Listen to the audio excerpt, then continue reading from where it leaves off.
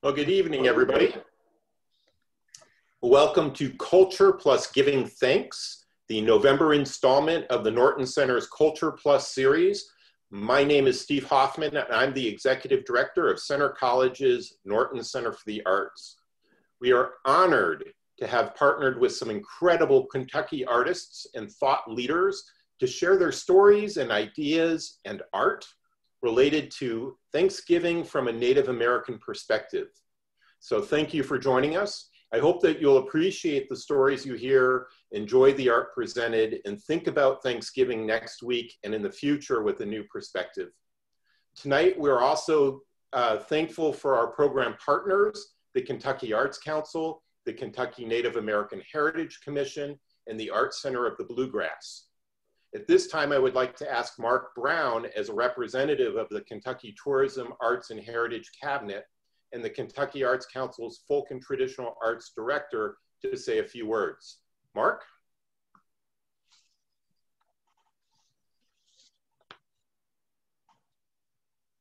Thanks very much, Steve. Um, as Steve mentioned, I work for the Kentucky Arts Council, which is um, part of the Tourism, Arts, and Heritage Cabinet. We have a mission to foster environments for all Kentuckians to value, benefit from, and participate in the arts. So we're very excited to co-sponsor tonight's episode of Culture Plus. Um, and since we're all about giving thanks tonight, um, I'd like to say I'm thankful for uh, Tressa Brown, who's the coordinator of the Kentucky Native American Heritage Commission, and her colleague Helen Danser, who's on the call tonight, um, for their help and partnership um, in planning and presenting the traveling exhibit Native Reflections Visual Art by American Indians of Kentucky. Um, also thankful for the Kentucky Heritage Council, which is our partner and sister agency under the Tourism Arts and Heritage Cabinet, um, also for making the exhibit possible. Um, thankful for the Art Center of the Bluegrass for hosting the Native Reflections exhibit this month and next in their wonderful facility there in Danville. Um, I'm thankful for the artists tonight, Brigit Truex and Fred Nez Keams and Martha Redbone, uh, for sharing their thoughts and stories and, and art. Um, and finally, thankful for Steve Hoffman and his excellent staff there at the Norton Center uh, for putting together all these pieces and, um, and welcoming everyone to tonight's um, presentation. So now I look forward to uh, listening and learning with all of you. Thanks again, Steve. Oh, yeah, thank you. Thanks, Mark. Immediately following the discussion, we will launch our Culture Plus Encore program featuring Kentucky native and friend Martha Redbone. Martha gave an absolutely incredible concert at the Norton Center in 2018, and the audience was adamant that we bring her back, so we did. She will share some traditional and original music and stories in this very intimate Zoom setting. And there'll be nothing you need to do except wait a moment as we launch into the Zoom Encore. The Culture Plus series is part of the Norton Center's Creative Conversations program, which is supported by an endowed gift by 1995 Centre College graduate, Dr. Jeff Johnson and Ken Michael. Now I'd like to introduce you to Molly Brown, the Norton Center Engagement Services Manager. Before she provides some preliminary details you will need for this evening's program, Molly will share with us a land acknowledgement. Molly? Thanks, Steve, um, and thanks everyone for being here. We're, we're so glad that you came. Today, the Norton Center at Centre College sits on the ancestral lands of the Cherokee, Shawnee, Yuchi, Adena, and Hopewell nations. According to the Kentucky Native American Heritage Commission's review of the 2010 United States Census, over 170 American Indian tribes are represented by members who live and work in the Commonwealth. This is in addition to many others of Indigenous descent not represented in the census data. We would like to take this moment to remember those who have been forcibly displaced from their territories, and we ask you to join us in acknowledging that Indigenous culture is a living culture that thrives across the region and the continent at large. Here at the Norton Center, we strive to be a space where people can appreciate the arts and the stories that artists tell through their craft. So when we leave here today, we encourage you to seek out opportunities to engage with the work of contemporary Native American artists and to explore how to support their creative efforts. For resources that can help get you started, please visit our website. Thank you very much. And so moving on from that, I just want to go over a couple of logistic things so that we can enjoy the program together tonight. Um, first, I want to let you know that you have two viewing options. At the top of your screen, you can select to use the presenter view, which will highlight the video feed of the person who's speaking. Um, you could also choose to do the gallery view, which will give you um, a view of a lot of different windows, but the speakers will all be on the first page and you can cycle through pages if you wish. I also want to take an opportunity to thank Karen Schultz, who is our ASL interpreter for the evening. If her services will be useful to you, please make sure that you select her window and spotlight her feed um, so that she'll be highlighted on your page. I also want to mention that even though the audience will remain muted throughout the entire program, we will have a Q&A session at the end of tonight's event. So if you'd like to ask a question to one of our panelists, simply type in the chat box and direct your question to Matt Overing. Matt will then field our quest, the questions that you come up with to um, Tara Strauch, our moderator, who will then field them to the panelists. Um, we'll do our best to get to everyone's questions, but if for some reason we can't um, get to everyone's, we'll do our best to see if the panelists um, would be able to answer them and we could follow up with you. Um, so unless I've forgotten anything, Steve, I'll turn it back to you. Great, thank you, Molly. And thanks to the entire Norton Center staff for making this program happen and for all of the hard work our team is providing to get us prepared to have in-person programs again sometime soon. Now it is with great pleasure that I introduce Centre College's president, Dr. Milton Moreland, to share a few words. Welcome, President Moreland.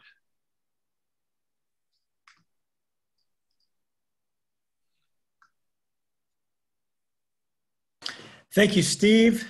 Good to see all of you. Thank you, Mark and Molly. I am so happy to be part of this program, welcoming you to the Norton Center tonight, welcoming you to another incredible program at Centre College. We are delighted that even during a world pandemic, this creative staff, these wonderful human beings at the Norton Center have figured out ways to keep us engaged, to give us some opportunities to not just think about the world pandemic, but to think about other important topics in the arts and in culture. So thank you, Steve Hoffman, for your leadership. Now I am so pleased to introduce one of our fantastic faculty members at Centre who will be moderating the program and introducing our speakers and guests tonight. Dr. Tara Strauch is Assistant Professor of History at Centre. She is a professor of early American history and researches at the intersection of religion and politics and culture. She is especially focused in her research on rituals and holidays, and actually, right now, is finishing a book on American holidays, the history of those holidays. So, we'll look forward to that in the future. But uh, join me in welcoming Dr. Strauch to the program. She's very interested in our holiday traditions and how appropriate to uh, have her leading this conversation tonight. Welcome to everybody. Looking forward to this program. Thank you very much, President Moreland. I'm so excited to be here tonight. Um, as President Moreland said, um, holidays are something I'm really passionate about. And in particular, I'm passionate about people taking ownership of their holidays um, and not feeling like holidays happen to them, but instead making them into the celebrations they want them to be. Or if they don't want them to be, doing that too. Um, and so I'm really excited to have a, an evening tonight where we think critically um, about what we celebrate and why we celebrate it. Um, while we also get to um, listen to music um, and enjoy culture and art through um, flutes and poems. Um, I, am really excited. So let me um, introduce our panelists to you. Um, and I'm not going to go in any particular order. Um, we have Helen Danser, who is the chair, the chair of the Kentucky Native American Heritage Commission. and Helen brings passion um, for not for teaching people um, about Indigenous culture and about their presence here in Kentucky. So welcome, Helen.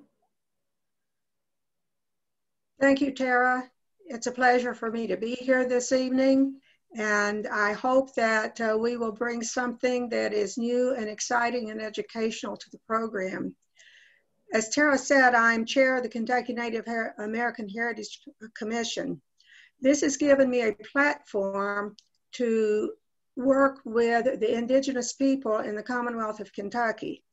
I grew up knowing that I was Indian all my life, but there was no, to no way to express that. Um, I was in that generation where the parents said, You do not talk about such things.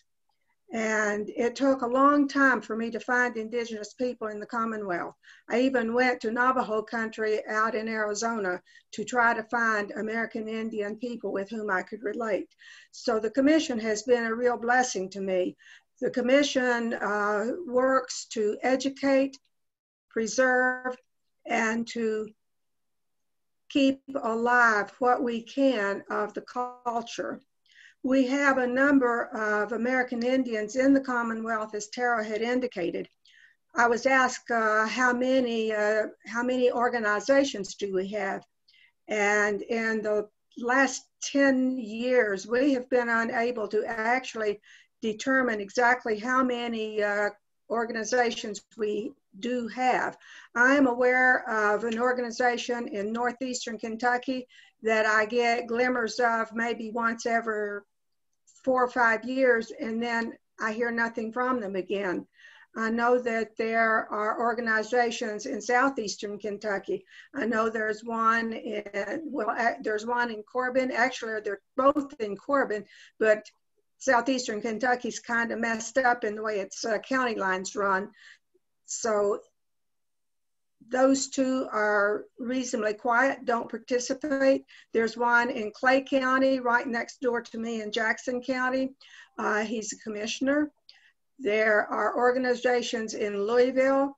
I belong to the indigenous people of Kentucky. And uh, that organization is headquartered in Louisville, but we're scattered throughout the Commonwealth and Southern Indiana. And our goal is to try to bring the indigenous in Kentucky together. And we're, we're doing this one person at a time. Um, hopefully in the near future, we will be able to broaden that and have more come together because it is in the togetherness that we can share our culture, share our ceremonies, share our life together because I was actually a misfit in uh, the civilization of this country until I was able to find and connect with indigenous people. And I'm not the only one that uh, fit that mold. I had occasion in the last uh, three months to meet an individual in Richmond who, uh, who let me know very early on, I'm lost. I know I have ancestry. I don't know what to do with it. I d- I don't know how to live. And through conversations and uh, time together, uh, this individual now is wanting to join, enjoy, wanting to join Kentucky's indigenous people and has told uh, a friend of mine numerous times that he didn't know he was who he was until we met and he could speak with people of like mind. So it's a pleasure to be here and to represent the commission and the indigenous of this Commonwealth. And I look forward to hearing from the other artists here tonight. Thank you so much. Thank you, Helen. Um, I'll introduce the other our artists um, together so that we have plenty of time then um, for us to talk and listen and enjoy.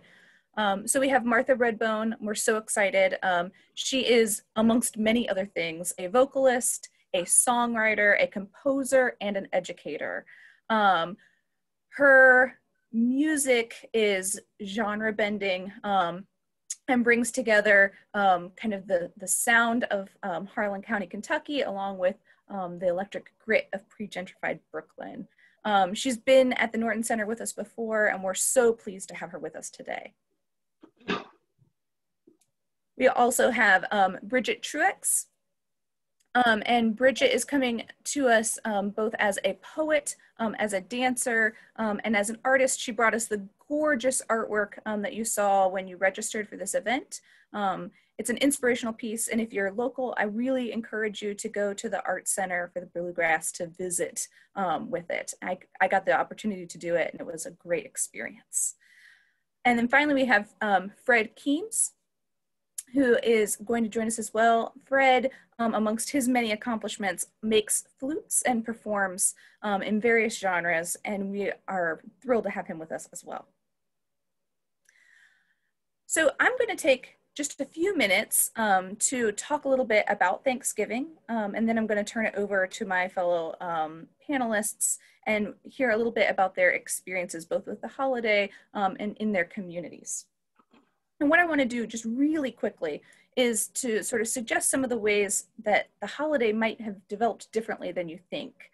Um, so the story is that the first Thanksgiving happens um, in Plymouth Rock um, in 1621. Um, and I think Brigit will get to talk to us a little bit later about being and living in and around that place and what that's like.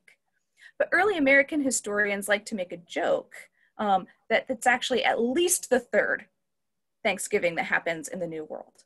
Uh, we know that Thanksgivings happened in Jamestown in 1607 and in Santa Fe in 1598.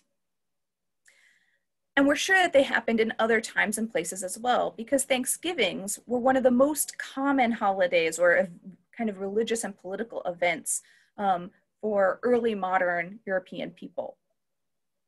Whether they were Catholic or Protestant, whether they were in the Old World or in the New World, stopping and giving thanks to God um, for their successes and their blessings was incredibly important to them. And in most communities, this was balanced. Um, Thanksgiving tended to happen in the fall, and they balanced this in the spring with a day of fasting where they prayed to God to, to ask forgiveness for their sins. So I think it's really important to understand that when the Puritans, um, when the, the pilgrims come to Plymouth Rock, they're not doing something new or special. And in fact, they're doing something really, really normal for them. So when we think about the holiday, um, for the first 200 years of American history, North American history, when people celebrated Thanksgivings, they weren't remembering the events at 1621. Instead, they were celebrating their communities um, and their connection with people around them and with God. By the 19th century, however, um, particularly in New England, they did start to think about this as a day for celebrating the pilgrims. But this was not a nationwide holiday. Lots of places had Thanksgivings, but it wasn't something that they did as a nation. It's not until Abraham Lincoln in 1863 um, that we see Thanksgiving being made a national event. And he's using it to try to draw Americans together. This is one of the themes of Thanksgiving. Sometimes um, it's bringing people together, and sometimes it's pushing them apart. In 1863, he calls for a Thanksgiving to try to join together the fractured parts of the North. But in doing so, he makes it harder for the South to come back and rejoin the nation because Thanksgiving was celebrating um, kind of northern victories. And Southerners felt offended, um, so white Southerners felt offended when they came back into the nation after 1865 and felt that this new holiday um, celebrating the North was being thrust upon them. So the holiday unites and it divides. We see this continuing in the 20th century with the advent of Macy's Thanksgiving Parade in 1924. Um, and Black Friday shopping, which actually happens pretty early, we start to see some people who think it's not being celebrated correctly. In 1939, President Roosevelt tried to change the date of Thanksgiving. He moved it backward uh, or forward. No, backward. He tried to make the, the shopping period longer between Thanksgiving and Christmas in order to encourage people to buy things. This made Americans so angry that it was often called Franksgiving, instead of Thanksgiving. He never tried again. In 1970, a group of Native Americans came together um, and celebrated the first day of mourning on Thanksgiving, a day of remembering the losses um, that had occurred at the hands of the United States government and the hand of American culture. And I'm really excited to have Brigit tell us about that in a little bit. the holiday divides and the holiday brings together. Another part of the holiday, and this is my last bit, um, that I think is important to mention is it's always been about action. When the Pilgrims and when other early Europeans came together to celebrate thanks, they were doing something as a community. Um, and that continued to be important. Um, giving to charitable groups was important from an early period, as was dancing and fireworks and eating and food. The food tradition in particular has been both consistent and diverse. If you're from the South, you probably eat cornbread stuffing. If you're from the North, you probably eat breadcrumb stuffing. Um, if you're in the South, you might have mashed sweet potatoes. But if you're, you're in the North, you're less likely to do that. Um, so I'm really excited to talk now with the panelists and think about how Thanksgiving has brought people together and divided them and what kind of holiday they celebrate or they would like to celebrate. So I'm going to turn to Martha now. Um, I think, let me double check myself. Um, I got too excited. um, I, I, am, I am going to turn to Martha next. So Martha, um, I would like to kind of continue on this theme of thinking about thanks as an action and turn to you first, although all the panelists are welcome to join in. Um, how do you think that making art can kind of connect you to community or help you give thanks? Well, greetings, everyone. Um, back home, we say Osiyo, everyone. Um, uh, it's lovely to be here. It's an honor to uh, share this panel discussion. Um, I uh, I have so many mixed feelings about this because of how I was raised. Uh, I'm from Harlan County, and um, and I was raised by my grandparents, who my my grandma's Cherokee, Shawnee, and white mixture, and my grandpa's Choctaw, and African American, and uh, Alabama Coushatta too, from down the bayou. So um, I was raised in a very traditional household, and in our coal mining town, um, there three. We're kind of the three remaining uh, Cherokee families in the, in the, region. My my grandma's been there since time immemorial, and um, we were the we were the families who came back from the Trail of Tears. So we went to Tahlequah and enrolled, and then our family came back. And um, and we'd always wondered that because well, from that time we lost our Indian status with um, you know the the reclassifications and all the historical things uh, the, these acts that have come in to kind of erase us on paper you know. And so um, so I I was inspired to write about my family story and and we put it into a song cycle and a kind of play um, that talks about the history of our connection, our family connection to the land, and how we continue to be here. So um, that also, growing up with my grandparents, um, being raised by my grandparents, um, you know, it, it, Helen Helen really um, touched my heart because um, Helen is is from the generation that my mother is raised in, and my my grandmother did exactly the same thing to my mom and my aunt. This was something being being indigenous was something that you didn't really talk about because it didn't really help. Um, they wanted us to, you know, wanted my parents' generation to assimilate, and so um, you know to move away from the culture. You won't need your language. You don't need that culture. You don't need all of that. You know, just you know, study and get good jobs so that you can you know, earn a living and have your families. And so a lot of that was removed. But you know, my mom's heyday was in the 60s and 70s. And so that was the reclamation of culture and uh, the, the kind of um, rejuvenation for our Eastern Woodlands peoples of uh, cultural preservation and, and, um, and reclaiming uh, who we are and reclaiming ourselves as Indigenous people and uh, learning as much as we could relearn that had been taken away from us. And with that um, came the language and the songs that, you know, that I would, that I've come to learn and the lullabies and, and things like that. And so um, now that I'm a mom myself, it's really important that I, that my son knows it so that he can teach it to his, his children when he's grown. And so um, that led me into a kind of organic um, journey of, of um, education and um, cultural preservation through music. As a musician, I, I sing and, and um, you know everybody loves music i don't know anybody who doesn't love music in some some way and so um, to be able to share that with young people and to talk about this this land and, and our beautiful state of kentucky. Um, it's beautiful and controversial at the same time. And with me living in new york city you can imagine you know the being torn between so many different things and always being something always calls us back to home. But i did really feel that it's very important that people understand the importance of um, the Cherokee Shawnee story in Black Mountain and in the state of Kentucky. I can't tell you how many other uh, Native American uh, people from other uh, regions um, kind of write off the state of Kentucky, and they said, "There's no, there's no Indians in Kentucky. There's no natives there. There's no, there's no reservations there." And there's, you know, we're kind of written off as, you know, especially when you you know, I've had every single joke, you know, with the the great great great great grandmother being a Cherokee princess. I see you laughing over there, Fred.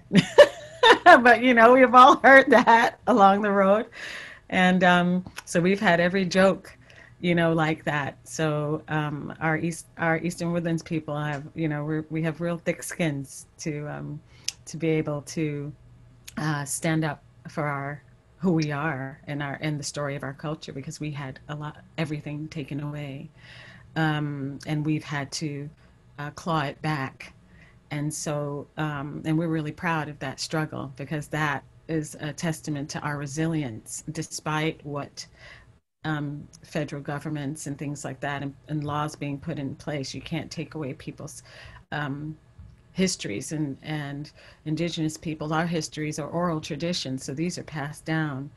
Um, and so that's created the urgency for me to continue my uh, journey um, in cultural preservation through music. I hear a story of erasure and reclamation there that I think is really fascinating. I'd love to hear the other panelists if they have um, a similar sort of narrative there. I think it's important to think about when we think about Thanksgiving um, how are we helping reclaim that story and that history and how can we um, even us very white americans um, at our at our thanksgiving celebrations how can we help that process helen did you have some thoughts about that Yes, Tara, I, I do. Um, I really appreciate what uh, Martha said there because um, reclamation is uh, what all of us in the Commonwealth are trying to do is to reclaim our heritage, to live into who we are and who we were meant to be. And I agree with her wholeheartedly in the uh, pushback that we get. And uh, for myself, I get that pushback uh, from many different sources. Um, it's rather subtle in the general population sometimes it's not quite so subtle in uh, some of the uh, Indian folk west of the Mississippi because I have been in some of those situations where uh, I was told vehemently there are no mountains in Kentucky. There are no Indians in Kentucky. There never were any Indians in Kentucky. And I was actually in an all Indian school on drugs and alcohol uh, where this was being said. So finally, I got the courage to ask the lady, Where did you get your information? I got it at the government school, of course. They sent us all away. So it's a hard journey to reclaim, but it's also exhilarating because, as I tried to indicate earlier, I did not really feel like I belonged anywhere although I had all the white privilege, it didn't make me a part of the community. It did not make me a part of the cultural civilization there until I met American Indians. And it doesn't matter to me what tribe they are or where they are, but I am partial to the Eastern Woodlands because it we lost we lost, uh, I think, as much as those who were put on the reservations because they had their community. We didn't. As Martha says, that they were one of about three families there. My family was totally isolated. And Helen, I'm going to interrupt you. I'm sorry. Um, I want to make sure we get Fred and Brigit into this part of the conversation. And I, I just want to also mention for anyone who doesn't, so um, when we say East, Eastern Woodlands, um, we're indicating a kind of a group of um, natives um, and a often a linguistic group as well. Um, and I want to kick it over to Fred for a minute, um, who is not from the Eastern Woodlands, to tell us a little bit maybe about how he came to make his flutes um, and the story that they bring for him and maybe to play for us too. Ja, det är klassen tjejer jag för kinjine. Later on the show. Shena is eji do kachini do tapa habashichi. Good evening. Uh, my name is Fred and I am from uh, Window Rock, Arizona, and I am a full-blooded Navajo.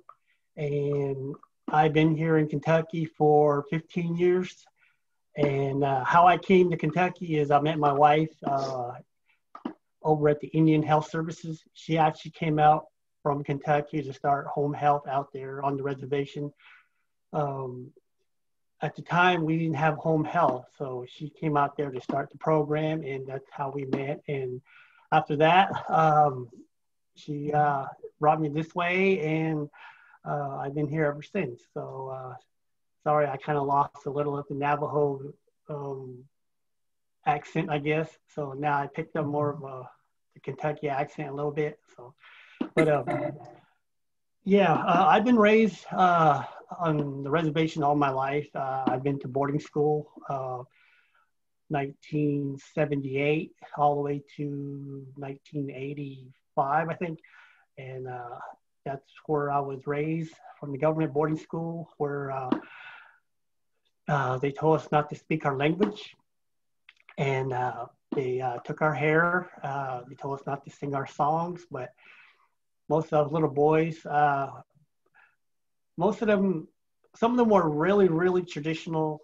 um, that were brought up.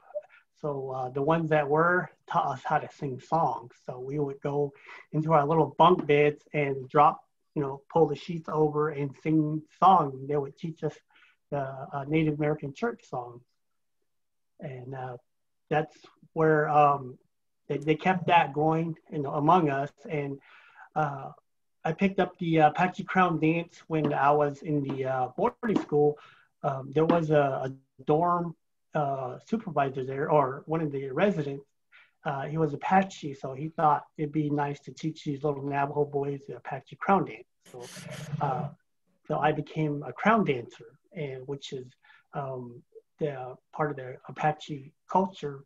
But at one time, the Apache, Apaches and the Navajos were together, and the language uh, I can understand what they're saying, and they speak very fast, and it seems more like they cut the Navajo language in half, but I can understand what they're saying. Uh, as I got out of the boarding school, um, I picked up more of the language uh, from my uh, parents and uncle, aunts, grandmas, grandpas, and uh, it just, for some reason, when they were talking in Navajo, I would understand without even knowing what they were saying. I knew, I understood. So uh, they told me it was in the blood. So that's, I said, okay. So ever since then, but um, but I was kind of raised by my grandparents. Um, uh, that's how you say grandparents in Navajo. Um, my uh, grandmother uh, gave me a Navajo name uh, called Bebat. Uh, Bebat means, in a way, it's called Baha. It's like a little sheet that, you know, um, like when the little lamb is born and you touch it with your hands and then you put your scent on it and then the mother doesn't want it. Uh, so I was always following my grandma around. So that's how my grandma named me Bebat. That's kind of like the Navajo name and my grandparents are medicine men and a, a very traditional Native American church. So um,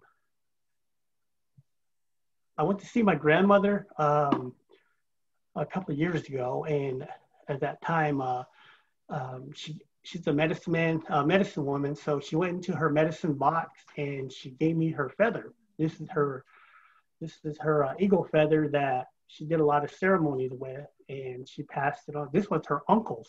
And my grandfather, my grandmother is 97, and my grandfather just passed away uh, two years ago, and he was uh, 100. And uh, so this was passed down to me, and what she told me was, uh, Didi Nigo, Didi Niga, Didi uh, case means like you know what to do with it, you help others with it. So this feather is um, passed down to me. So now I'm going to pass it down to my kids. Uh, hopefully, uh, they do the right thing with it. So, um, and I got my medicine box here. So, and as far as uh, uh, like for us being Native American, Native American month, we do that every day. You know, we don't have to wear regalia or put feathers or whatever. You know, we are Native American every day, and we uh, we go to church every day. You know, we have our um, our sweet grass. We burn it every morning, and we have our little medicine pouch that we uh, give thanks, and we say our prayers every morning and every night before we go to bed. We pray for all, especially uh, with this COVID going on, and um, I just lost a cousin from the COVID this past weekend, and uh, the Navajo Nation is very is hit very hard with the COVID, and they're on lockdown. So um, it's very different living out on the reservation where there's nothing. And Thanksgiving, like you said, uh, it brings us together as family. But for us, we really don't sit at a table and eat like a feast and stuff. But we actually go to church. We bring the teepee in, we sing our prayers and say, uh, sing our songs and give thanks and help others. So that's uh, our way of Thanksgiving is bringing the family together in, in a spiritual way. And uh, as far as flute making, I um, it's always been with me ever since I was small. Uh, my mother passed away when I was like 20 something. I, I lost track now and I fell into depression and uh, I actually moved into the city where my cousin was and I was sitting at the porch and all of a sudden I heard this beautiful sound and uh, it just hit it just hit me deep down inside and it just stayed with me. And um, next you know it was the Native American flute and uh, at the time I couldn't get one because there was nobody made it and it was very expensive. Um, uh, it was like three, four hundred dollars back in the day, and now it goes up. But um, so I decided to make the flute myself, and there was a lot of trials and error. And when I got it, and I told um, I told myself that you know I'm just going to have one set price, and everybody should have a flute. And it doesn't matter where you play or who you play for, it, it will always touch someone out there going through a hard time and uh, it brings a lot of people together. So you should have. But thank you very much for having me and very honored. Will you play for us? Yes. This is the flute that I made. Uh, this flute, uh, when I started making flutes, uh, my mentor, his name is Roger. He's from Oregon and he's non-native, but he started making flutes. So I really fell in love with his flutes and in a way he uh, taught me over the phone at the same time from Oregon. So, but I was doing the work. And this is the flute that I almost threw away. And uh, he told me not to throw away the flutes that I make. He said, put it aside and uh, later on, when you come back, you know what you did wrong. So this flute sat in the, you know, back in the fire flute. But um, I took it out one day, and this is the flute I always play now.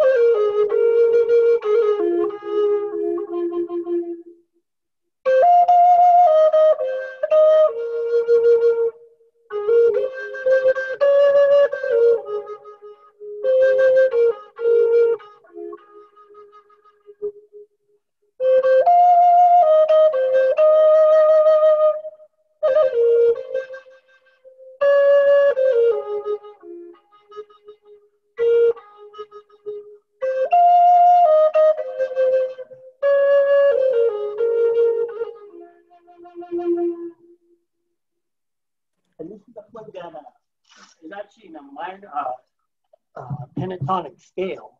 And back in the day, this back in the day, uh, the flute was almost lost, and it had a the older flutes had a different sound.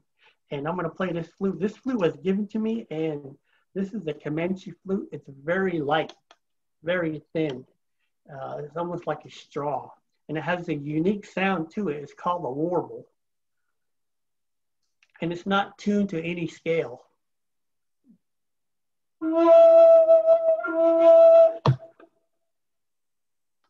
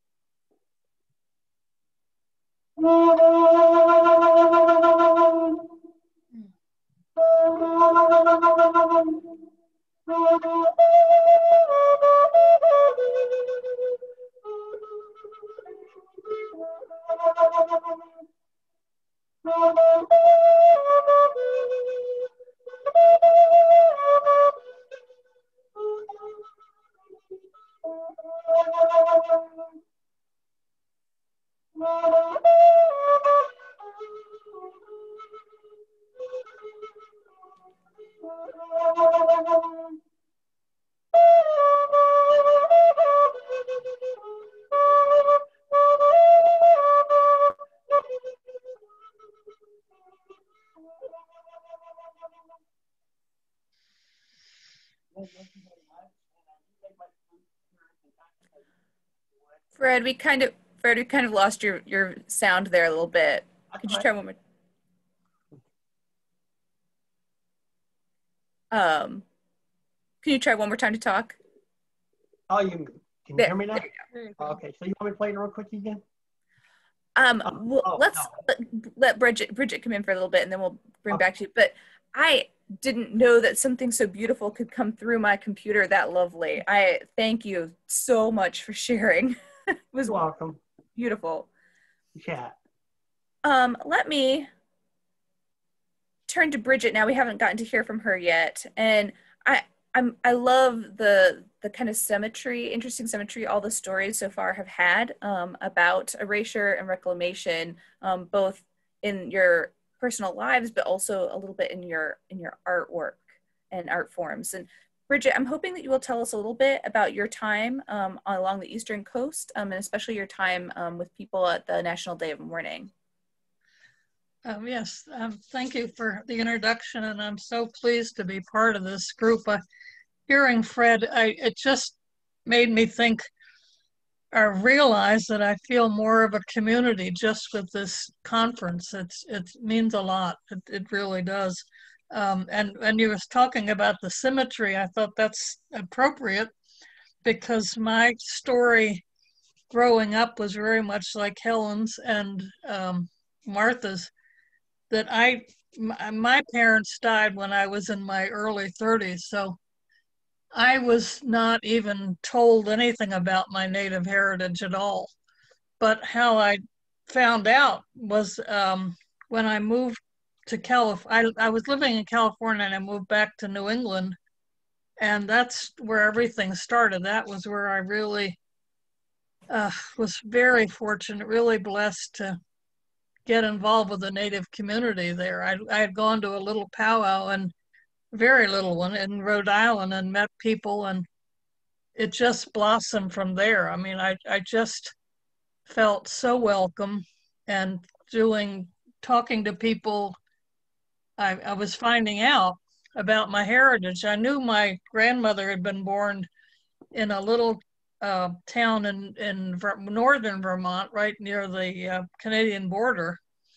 And we went up there and I found out more about the, the heritage. But my ancestry is I'm Abenaki, and we're in northern Vermont and in Quebec. So before her, everybody was from Canada, from Quebec. So it's been difficult to do the research, but uh, the the feeling that you get, uh, as as we've all expressed that, is when you're with the with native people. There's it's it's hard to explain that you just feel you've you've found a new family, uh, an extended family, and it's been a uh, it's hard to describe how important it is. And so I belong to the Kentucky indigenous people, as Helen was referring to, and that's been a big help because when I moved back, I moved from California, about New England back to California, and then here about seven years ago.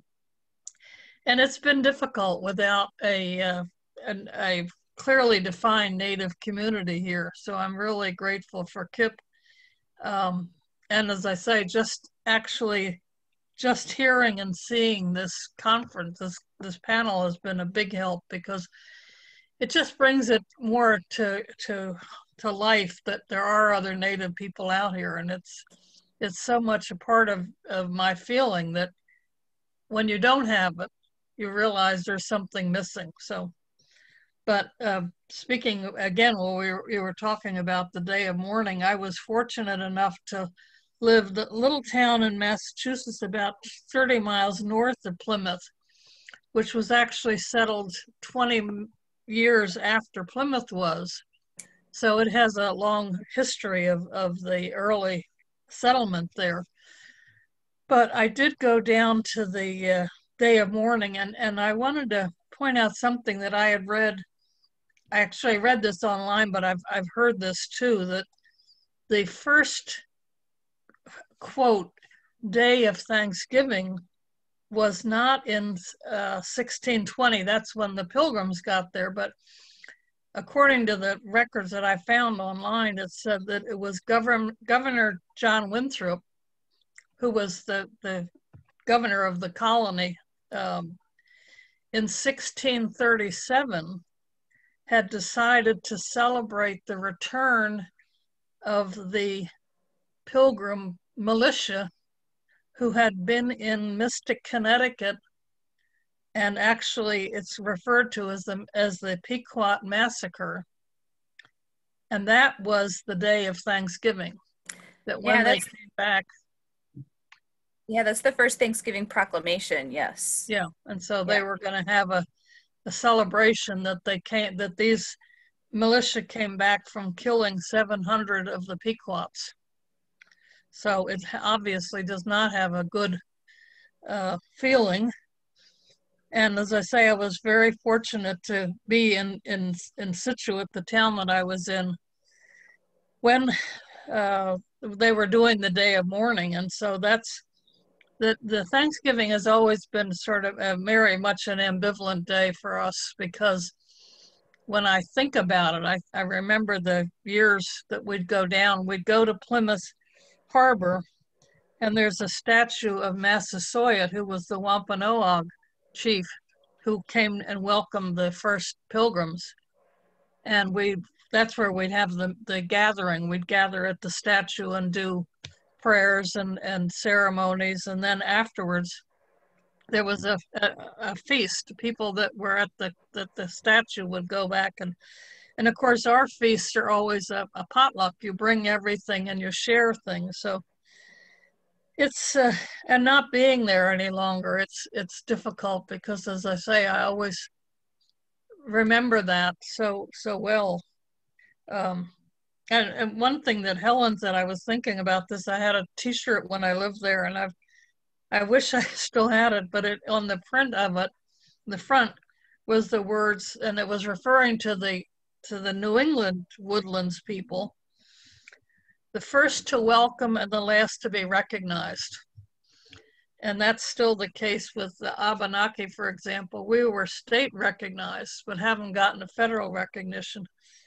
And one, just as an aside, one, one I think a, a great example of the bureaucratic thinking, the Wampanoags on Cape Cod, the federal government recognized the the gay head wampanoags that are out on on Martha's Vineyard, but not the the uh, the Mashpee wampanoags. And I thought that's an interesting distinction. They're obviously the same group, but they only recognize one of them. So I can't understand the government, but I there are things I will not say what I would say, but I think recognizing some of the tribes that haven't been recognized by the federal government is incredibly important. I will just, if you give me a second, I mean, Um, for example, they exist all over the United States. Um, so, for example, the Lumbee um, in North and Right. South Carolina, um, and many others. The the yeah, yes, Yes, I know them. I've been down there before. My my father, my grandfather is Lumbee. My my dad is yes, Oh, my wow. dad. My dad's mom is African American, and my grandfather um, was Lumbee from Pembroke Indian Reservation. But um, during those times, um, I can you know I can speak on it because I've I've, I've lived it.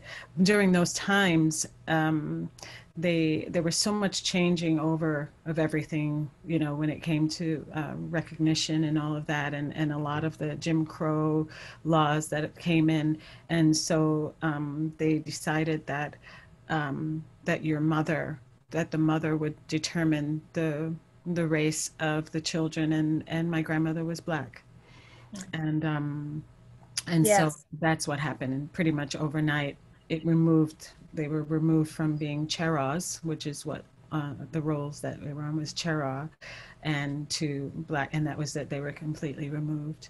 Mhm. and um and then my my grandpa uh died very young he was 33 um, and they think he might have had something like lupus but back in those days you know it was all tobacco fields and things like that. People didn't know they were from the you know from the swamps out there.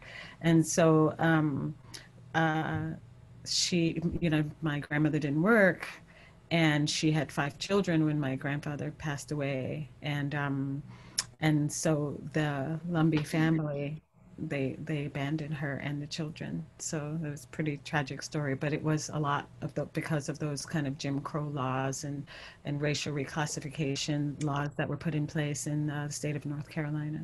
Yeah, and I mean, I think one of the things as Americans you should think about is the way in which um, multiracial people for a very long time were were forced to choose or were forced into one Me, racial I'm one of them. Yeah. I'm one of them. I mean, I can't even tell you. It's so. It's so. Here we are in the 21st century, and the amount of um, the anti-blackness because my dad is black, um, and so it's like you kind of fall in between the the cracks. You know, I'm not black enough to be, you know, fully embraced in the black community, and I'm not. Um, and I'm too black to be considered fully native in the native community. And in the native community, there's so much anti-blackness and and a kind of uh, what do they call that? Uh, most people are trying to have a to fit into the phenotypes that everyone that we're all addicted to. So as, as soon as you say that you're, you know, it's it's sad because you know indigenous people, it's you know it's dogs, horses, and Native Americans who have to prove our Yeah, our pedigree you know? And um and so as soon as you say that you're native american people say how much?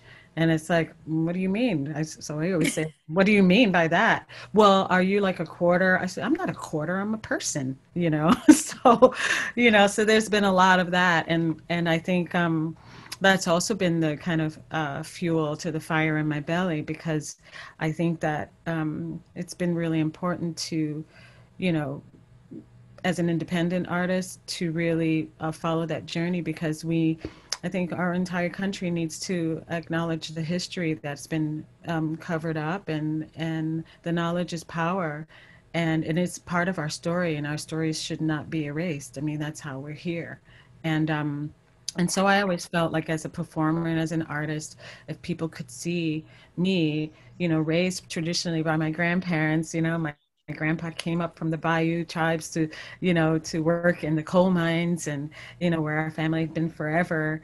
And then, you know, have this uh, African American lineage as well and in New York City. And, you know, there's like so, it's so rich and, um, and very real. You know, my story is not unique at all. And, you know, I, what's so beautiful about this um, group of people that we're here, there's so many you know, I feel like we're um, in the same choir, you know, as we say, because um, it's it's important that these stories get told because each individual story has this journey has a journey that has some relevance to our contributions to the land that we're all standing on.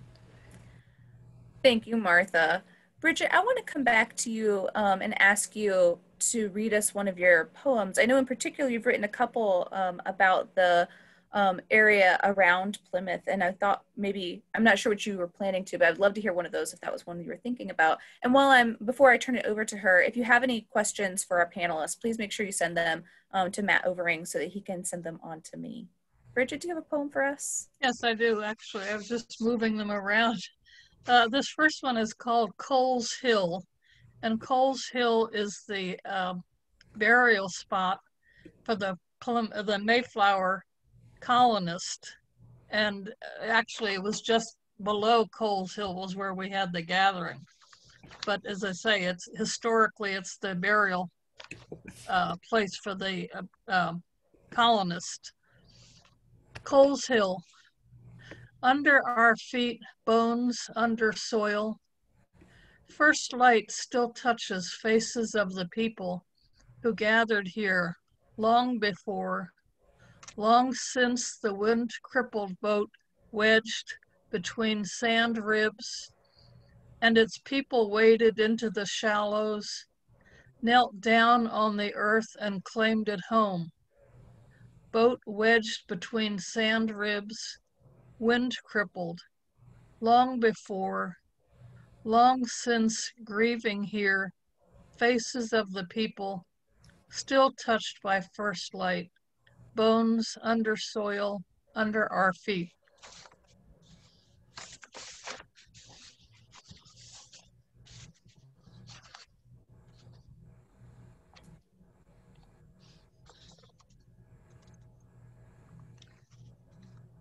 And I do have another one if if you're interested in that. I think we have time for maybe Is it too long? No, it's not. It's just about, same uh, same amount of time. And this one was more recent. Um, I was doing some research. Well, I'd known this before, but I was trying to do some historical or genealogical research, and I knew the names of the the uh, native people that greeted the pilgrims when they first got there. And when I was doing research, when I lived in New England, I, I came across the name uh, Samoset, and I thought, well, that's interesting because it sounded familiar. Well, Samoset was one of the four who recognized, the, the greeted the, uh, the first pilgrims there, and he spoke English. But he was not Wampanoag. He was actually uh, what was uh, I've seen two different references. One said Wabanaki and one's Abenaki, but at any rate, he was from the north of, of uh, probably either Maine or Vermont. So this one is called Bracelet Ring Knife. And it was written this this year, which actually, I'm sure you know this, this is the 400th anniversary of Plymouth settlement. Bracelet Ring Knife. Squanto, Wamsutta, Massasoit, Samoset. Each passed from our eyes, our named ones, but what of the unnamed others? Their sounded names, wind lost, sand scribed, etched into chalk white bark, sun-leafed and unwavering. Here then, the strangers, their absurd hats, rough mouths, sodden boots stumbling over shore grass, drooping, exhausted, stunned. There, then, one of mine bartered words with them, open handed as was right, fed with them, was gifted in return with bracelet, ring, a knife, brittle rust scabbed, color of old blood. It lay beside his baffled eye sockets, empty as their papered words spelling, retelling in their misshapen letters of names, stories past. But what of ours, each whose past? Whose past do you think they say?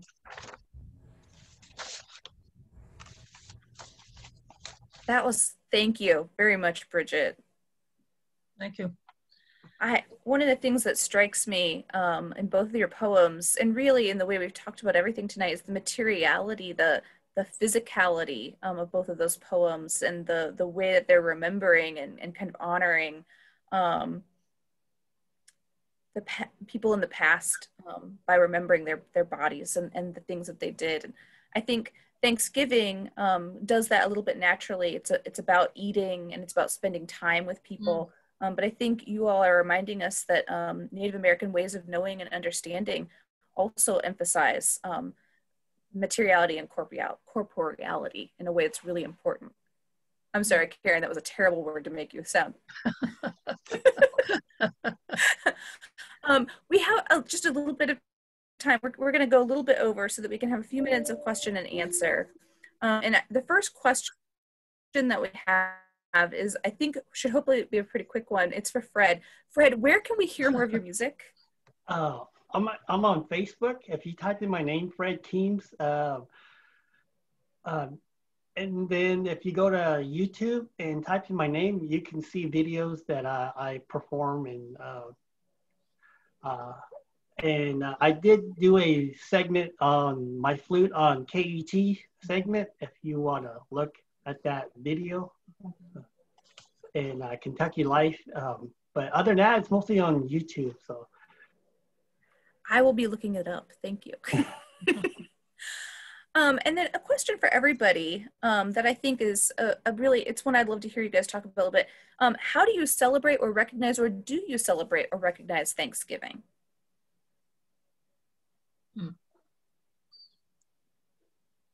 Yeah, well, I do. We uh, uh, we celebrate turkey, and uh, since we live here in Kentucky, and I actually do all the cooking, and uh, I actually do my mom's recipe, and uh, the turkey is always moist, soft, and I actually have uh, fried bread and tortillas, and we kind of throw the you know the, the native food in there. Yeah, so that's that's how we celebrate ours. So.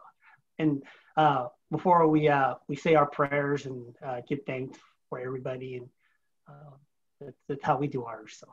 Thanks, Fred. Helen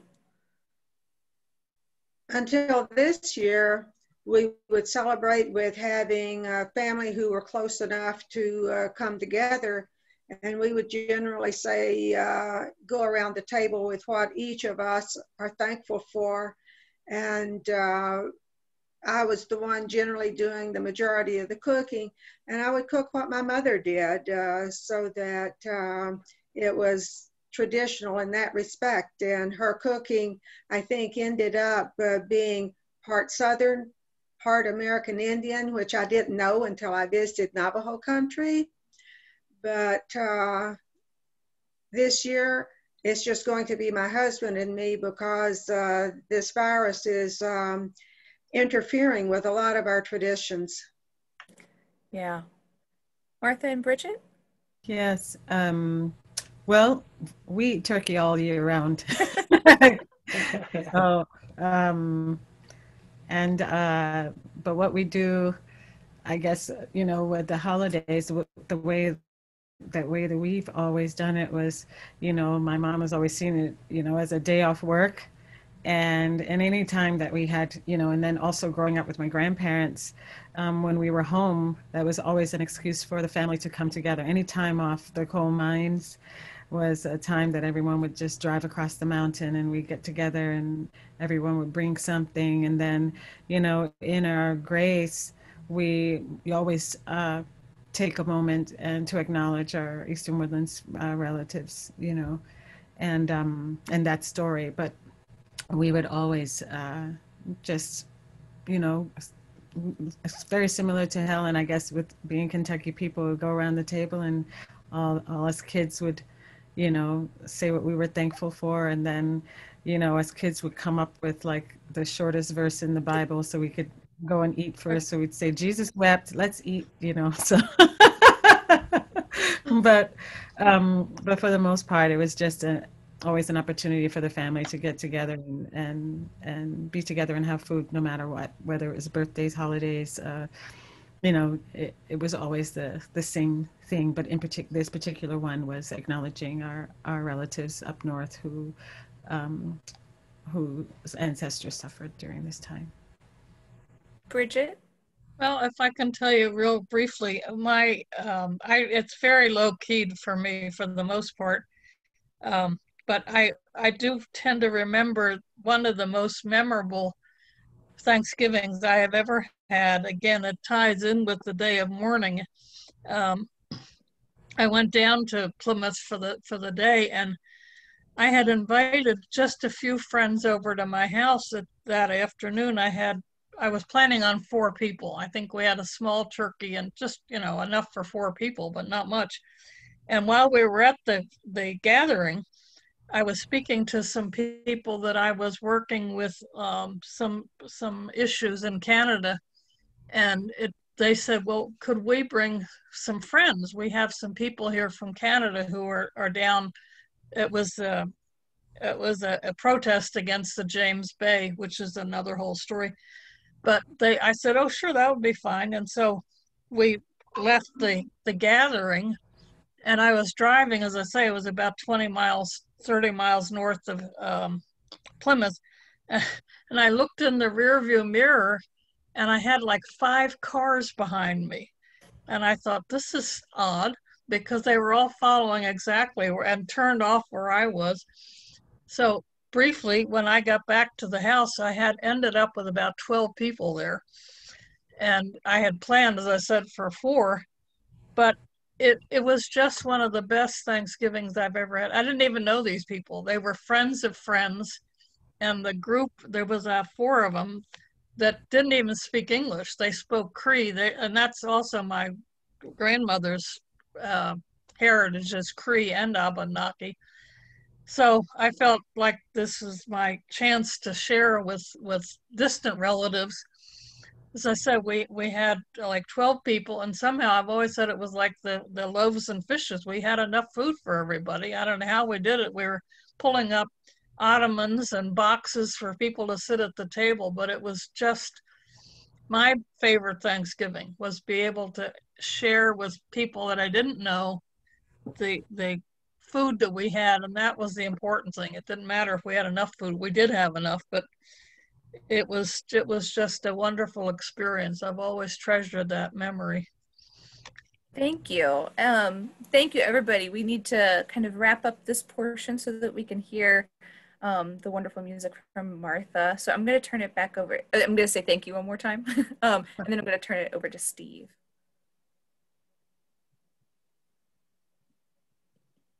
Thank you, Tara, and thank you, everyone. What, what an incredible program featuring Kentucky artists and Kentucky thought leaders, whether they're on uh, in, within the state right now proper or their heart is with us all the way from from Brooklyn. so we are very uh, grateful um, for you, Helen, Brigit, Martha, Tara, and Fred. It is an honor to have you share your stories with our community. Uh, before we head into the encore featuring Martha Redbone, I want to again thank our partners, the Kentucky Arts Council and the Kentucky Native American Heritage Count, uh, Commission, including Tressa Brown, Mark Brown, Emily Moses, Chris Cathers, for all of your assistance.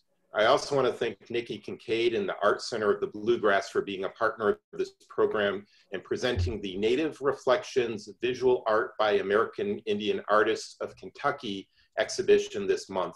I encourage everyone to visit the Art Center of the Bluegrass safely, in person or virtually, and see this very fine exhibition of Native American works from our Commonwealth.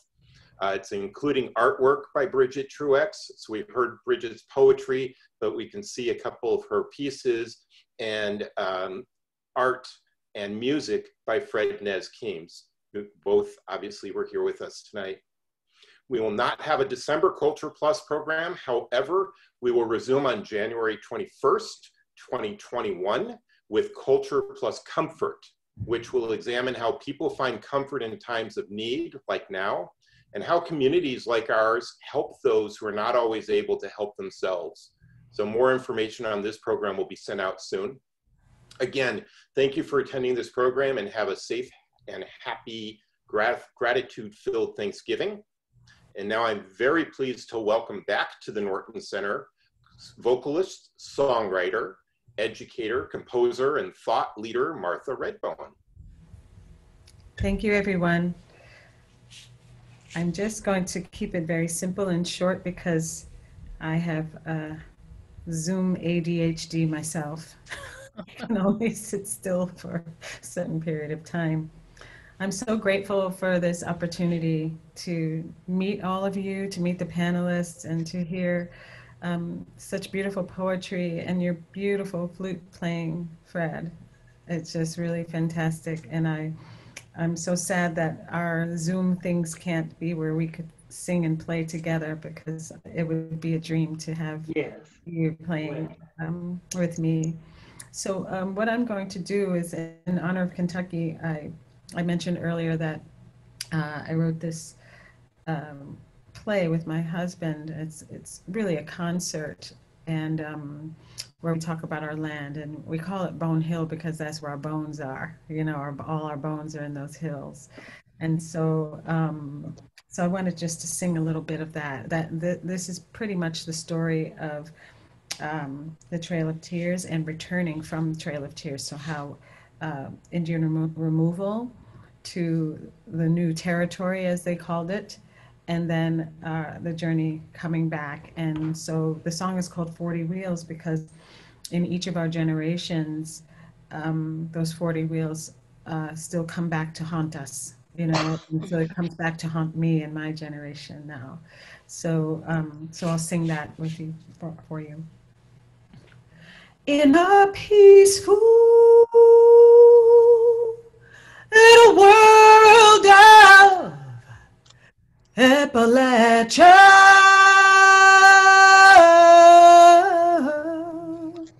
way up high, high up on the hills above the clouds, my people dwell.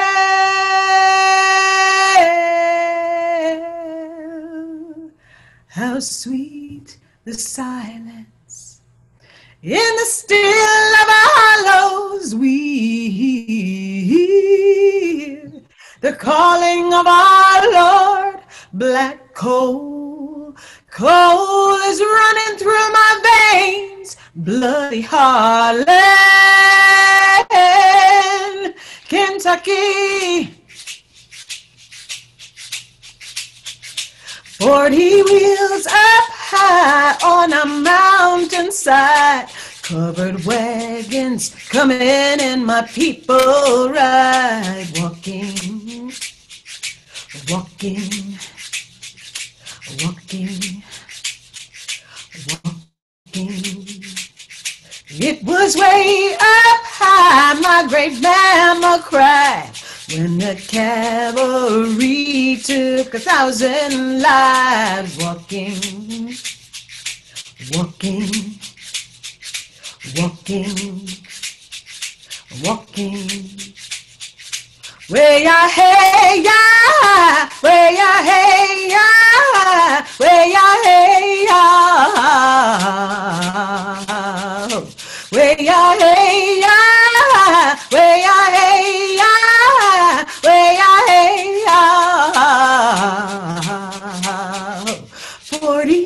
wheels up high on a mountainside. Was the coal trucks loading up a thousand miners walking and walking, walking, walking. Way ya hey way ya hey way ya hey way ya hey ya, way ya hey ya, way ya hey ya. Walking, walking, walking, walking.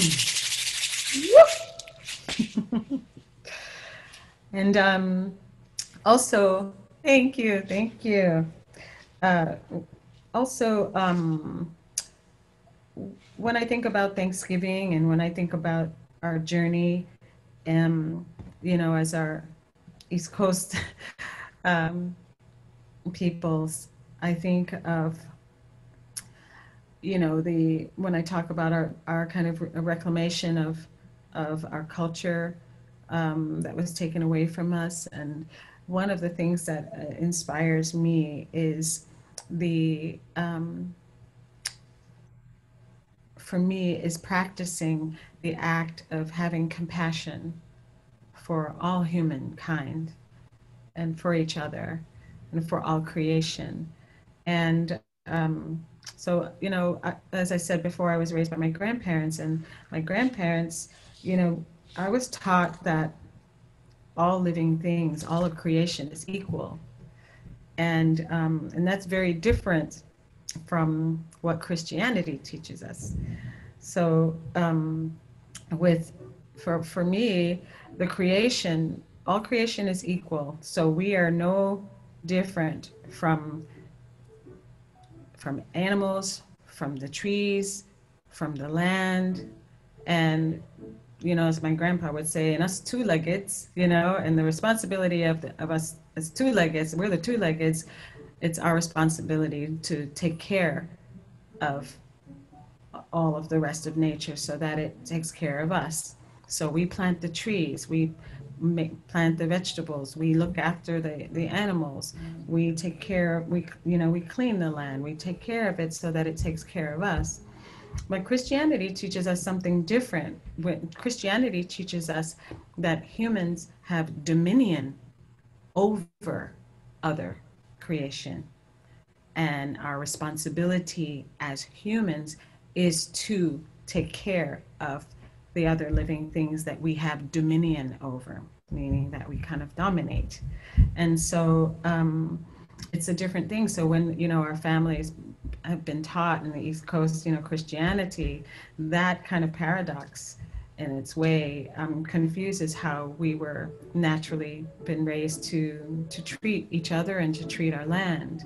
And so um, I, mean, I apologize if you hear my piano, uh, piano upstairs in the background. That's our son practicing. He's doing his lessons. So, but, um, but um, so in that um, teachings that I had as a kid, it's taught me to have compassion for the rest of the world because there's so many things that have been confused and given to us and taken away and that we're all trying to make sense out of. And so for me, having that compassion and practicing the act of compassion helps us to better understand each other and to treat each other better. And so, um, with that, I wanted to uh, sing to you a, a, poem about having compassion for each other in the world called On Another Sorrow. And the idea is, you know, knowing that someone else is suffering, um, and as um, your fellow brothers and sisters, to have a sense of responsibility to be able to lend a helping hand in some way, shape, or form. So that's kind of the idea. And the thought, and the thought of um, someone suffering and no one doing anything about it. It's like how, how I hope that never ever happens. So that's what the poem is about. And this is a poem uh, by William Blake, who's a great British poet of the Enlightenment era and he um, so we turned it into uh, we set it to some music and so i have the sound of appalachia in it so i hope you enjoy it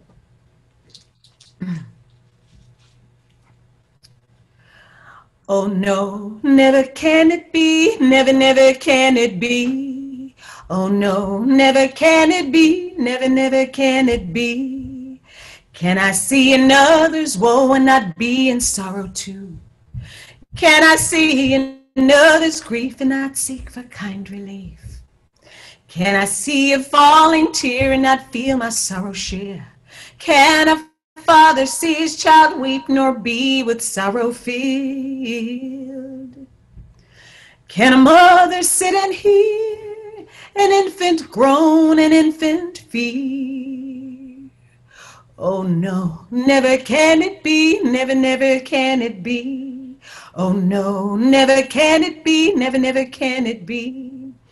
And can he who smiles on all hear the wren of sorrow small, hear the songbird's grief and care, hear the woes that infants bear, and not sit beside the nest, pouring pity in their breast, and not sit the cradle near, weeping tear on infant's tear, and not sit both night and day wiping all our tears away. Oh no, never can it be, never, never can it be. Oh no, never can it be, never, never can it be. Oh, he doth give his joy to all, he becomes an infant small. He becomes a man of woe, he does feel the sorrow too. Think not thou canst sigh a sigh, and thy maker is not by. Think not thou canst weep a tear, and thy maker is not near. Oh, he gives to us his joy, that our grief he may destroy, till our grief is fled and gone. He does sit by us and moan. Oh no, never can it be, never, never can it be. Oh no, never can it be, never, never can it be.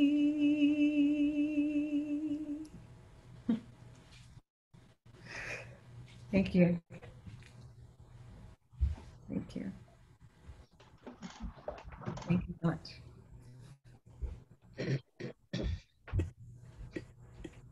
I'll keep it short.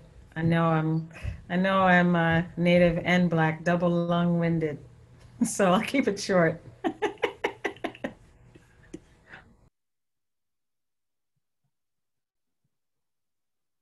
Thank you so much. Thank you, all of you.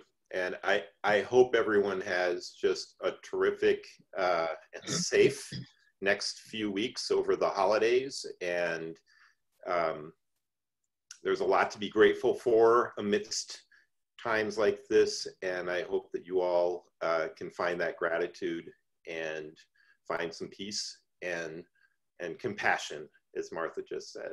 So with that, uh, again, Martha, thank you very much. And Tara, Fred, Helen, Brigit, we really appreciate your being here and we're, we're very honored to have you part of this program. Have a good night.